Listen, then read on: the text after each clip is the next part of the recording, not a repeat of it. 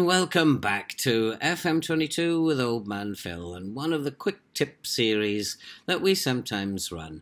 I've been visiting um, some Facebook's recent Facebook groups recently, and I, have come across some um, some perhaps we could call beginners at the game, uh, wondering why um, they're winning um, very comfortably, and then suddenly in the second half there's this big turnaround and they they end up losing, or or they're scoring um, so well they're not scoring, but they're creating so many chances and they can't score, um, or maybe they're leaking goals at the back against a particular team um, time and time again. It might be just one team, or they're leaking goals all the time.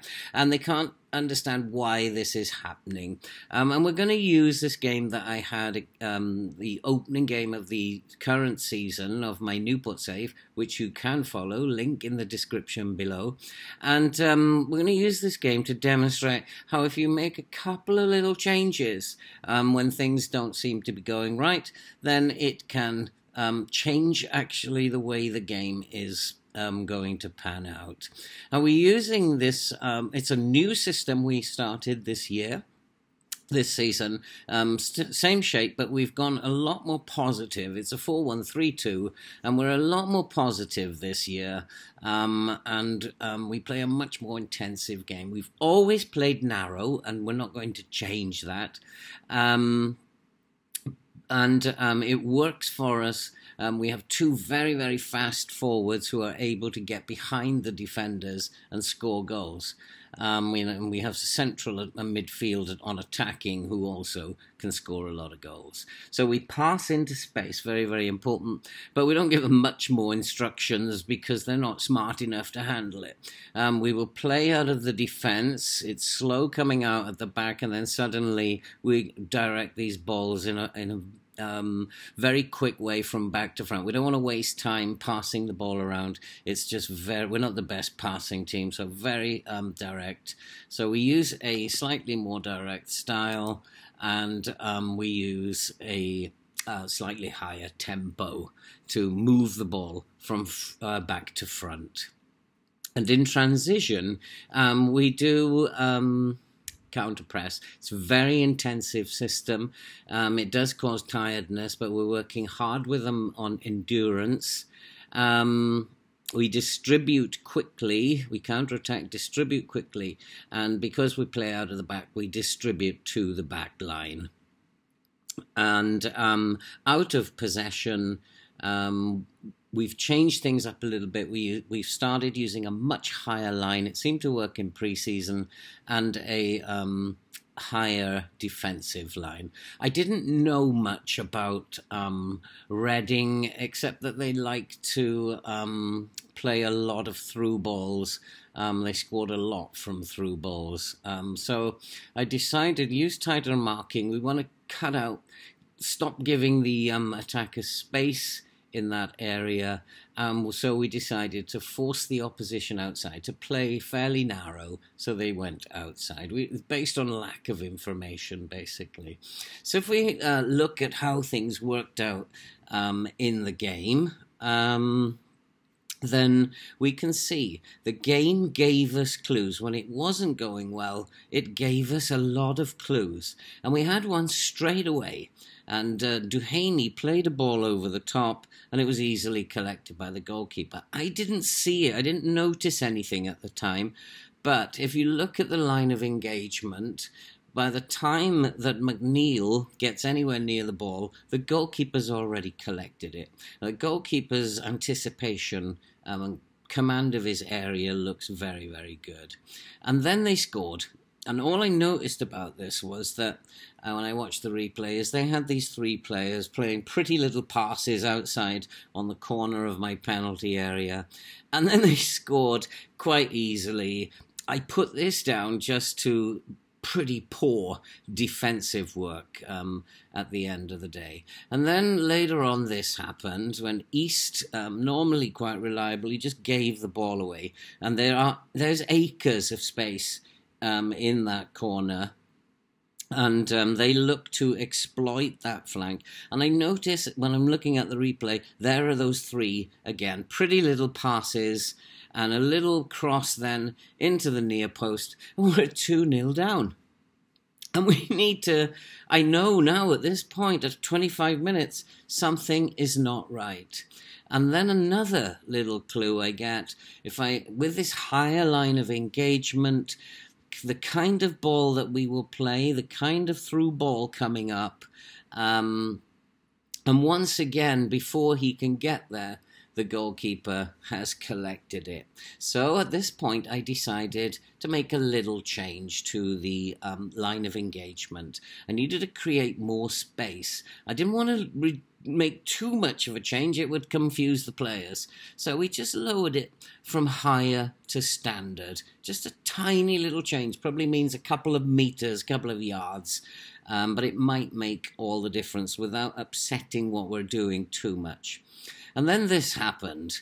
My fullback gets called out to uh, try and to try and intercept a ball, leaving a huge amount of space behind him. And I can see his position is very narrow. He does his best to get back. He can't. There's a cross into the box, and it's only a great save by Rogers that um, stops that. Now I know we need to do something, um, and before I could actually do anything, the computer gives me another warning.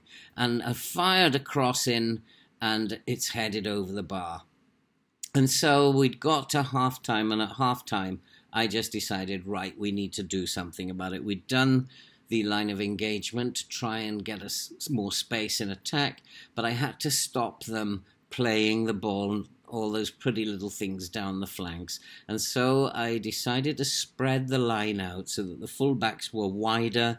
We'd force them inside and stop them going down the flanks. And and at the beginning of the second half, the computer said to me, "Well done, you well read," and showed me um, as they tried to go down the flanks again.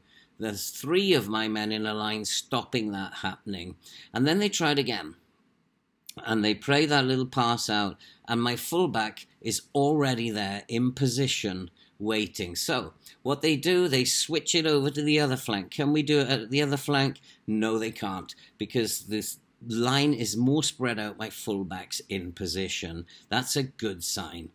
And then this happens in the 61st minute.